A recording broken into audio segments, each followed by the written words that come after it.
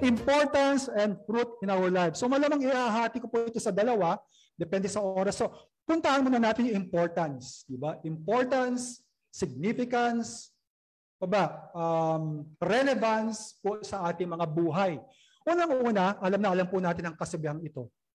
The famous quote from Saint Jerome, Ignorance of Scripture is ignorance of Christ. Malalim po ang sinasabi ni St. Jerome dito at malamang narinig po natin ito ilang beses na po. So ito po yung paalala po sa atin. Special type po mga charismatic. I remember po kasi nung hindi pa ako charismatic, yung nanay ko madasalin eh. Thank you Lord sa nanay ko na isa sa mga instrumento para po ako mapalapit sa Diyos. Yung nanay ko po kasi, naalala ko kuminsan, pinipray over ako nun sa gabi. Gabi-gabi pinipray over ako. At gabi-gabi nagugulat ako. Kasi diba hindi magugulat nun ang himbing ng tulog mo. Madaling araw pag gising mo, may nakatayo sa gilid mo, nakabuhaghag ang buhok, puting duster. Uh, ay, nanay ko pala yun, nanay ko.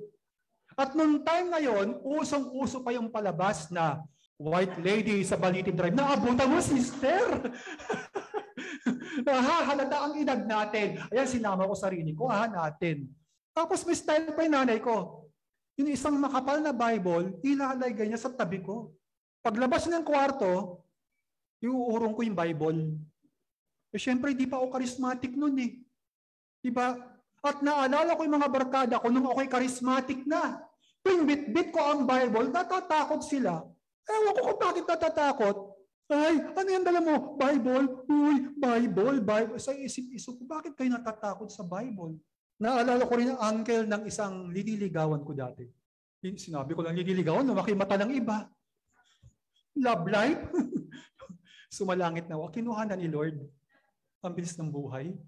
Sabi ng uncle niya, Naku, hindi ako nagbabas ng Bible. Bakit naman po? Nakakatakot nakalagay dyan eh sa isip-isip ko, bakit tayo matatakot? Kaya nga, we need the Holy Spirit para hindi mo tayo matakot sa Bible. Meron na ba kayong experience na ganyan? Bit-bit mo yung Bible, natakot sa iyo? Ang tingin sa iyo, weirdo. Pero nung siya ay umatad na ng charismatic, ano ba minsan sinalubong ko, sabi niya, Hoy! Uy, nagulat naman ako. El Shaddai na ako. Why, thank you Lord, sabi ko. Nagbabasa na pala ng Bible. Kita po ninyo ang nagagawa ng charismatic ng CLSS.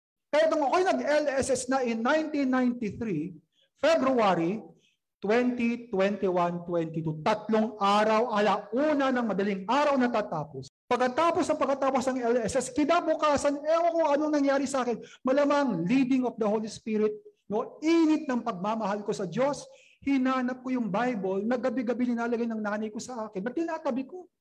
Sabi ko, nasaan na yung Bible yan? Kinuha ko, binasa ko, tuloy-tuloy. Wala pang isang taon cover to cover na baso ko po.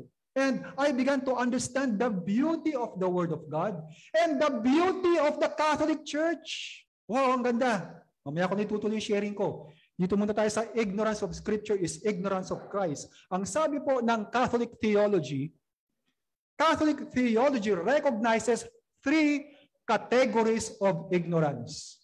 Malalim-lalim. Nahirapan ako dito. Ayan. Una is invincible ignorance, lack of knowledge that a person has no way to obtain. Pangalawa is vincible ignorance, lack of knowledge that a rational person is capable of acquiring, kaya naman makuha by making an effort. explain ko mamaya, konti-konti, unti-unti lang. And nescience, parang omniscience, no opposite ito. Lack of knowledge that doesn't matter in the circumstances from the Latin ne or ni, which means not, plus sire, hindi ho siri ha, sa cellphone yun. Sire, to know. Unahin natin si invincible ignorance.